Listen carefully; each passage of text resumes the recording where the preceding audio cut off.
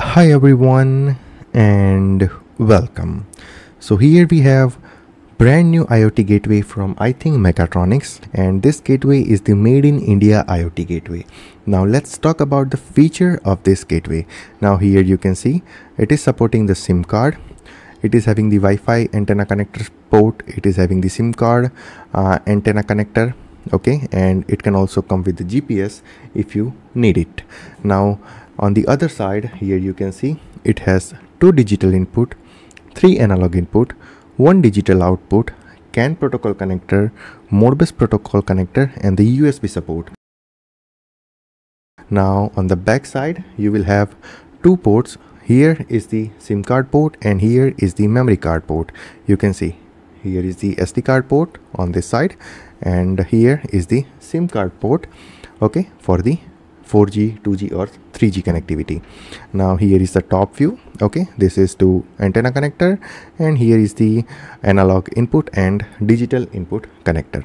On the bottom side you have the power on uh, port okay you can provide DC voltage to power on this gateway and here is the digital output this is for the CAN this is for the Modbus and this is the USB now on the front side you will have the RJ45 port okay for the data communication.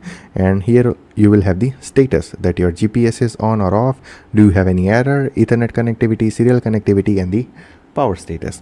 You can also use this gateway to send the data to AWS and after that you can use the in-house developed dashboard from the iThing Mechatronics to visualize that data and to create the report from that data.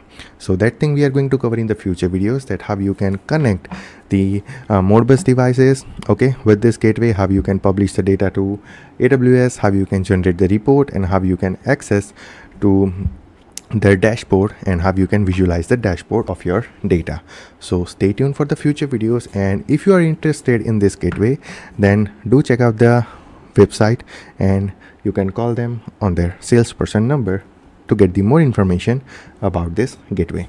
Now let's meet in the future videos of this iThing Mechatronics IoT gateway. Till then take care goodbye and thank you